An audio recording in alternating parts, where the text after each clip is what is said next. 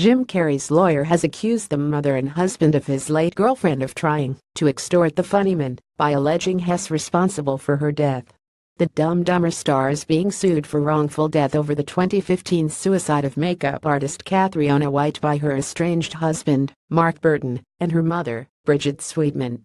They claim he provided the drugs that led to her death and gave White a sexually transmitted disease during their relationship but in a cross-complaint filed against White's attorney, Philippa Marchino, Burton, and Sweetman on Friday 29 SEP 17, Carrey claims the lawsuit is nothing more than an extortion attempt. In the new court documents, Carrey alleges his late ex extorted him herself with the help of Marchino in 2013, threatening to go public with allegations the actor gave her STDs unless he paid her millions. Kat and Marchino knew the claim was false and knew the mere allegation would impact Jim and his career, Carrey's attorney, Raymond Boucher, states. Rather than engage in a protracted and expensive public battle, Jim, as many in his position do, succumbed to the demands and privately resolved the issue with Kat and her lawyer. At the time, I felt Kat was being exploited by Marchino.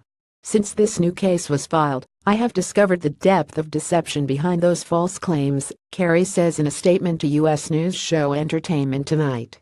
I will not give in a second time to these same fraudulent charges initiated by Kat's husband in name but not substance, Mark Burton, and her estranged mother. Nor am I responsible for what these desperate characters have inadvertently unearthed about the woman I adored.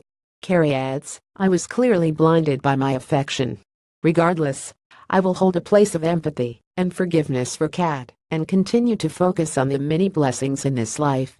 Burton and Sweetman's attorney, Michael Avenatti, has responded to Carrey's claims, calling them outlandish. Jim Carrey is so desperate to avoid the public knowing the truth about his own outrageous conduct that he has now resorted to outlandish accusations against innocent people, he says in a statement. White suffered a drug overdose and died at her home in California in September 2015. Her death was officially ruled a suicide by the Los Angeles County Coroner's Office in July 2016.